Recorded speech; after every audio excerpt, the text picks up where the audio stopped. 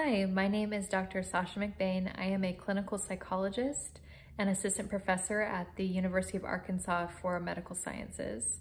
I am a clinician and a researcher, and so my research is all about implementation of mental health screening and intervention in non-mental health settings.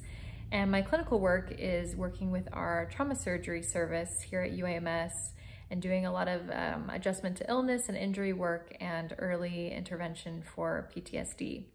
And I'm really excited to be talking with you today um, in collaboration with the ISTSS Production Committee for our new initiative called ISTSS Fast Facts. And so you can learn more about this initiative by going to our website, checking out our Twitter and social media. We have some information about what's happening. But basically, we are collaborating with ISTSS members to leverage the expertise that we have within our organization to create new educational materials to disseminate. And so this is the first of our series of ISTSS Fast Facts, and we're gonna be talking about medical trauma. And this is something that's really relevant to my work and PTSD related to medical events.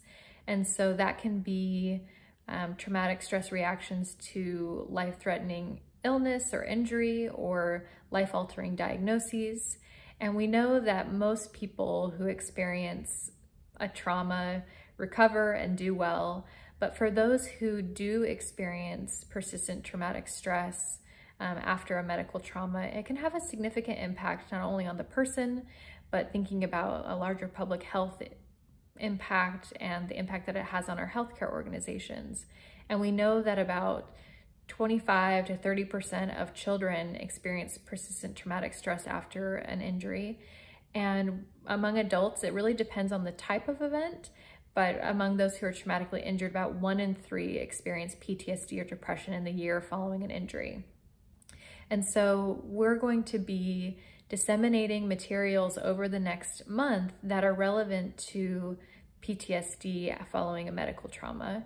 And so we'll be uh, disseminating a clinician fact sheet, followed by maybe a patient fact sheet. And then on the last Friday of the month, we're gonna be disseminating a podcast where I'll have a chance to talk with the ISTSS Production Committee Chair, Dr. Melissa Zielinski, and her co-host and fellow committee member, Dr. Ann Wagner, about medical trauma and some clinical considerations and some ideas about where the field needs to go in terms of researching this area.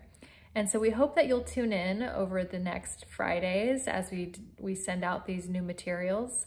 And I hope you find them useful and you take advantage of them and look forward to more in this series as part of the ISTSS Fast Facts.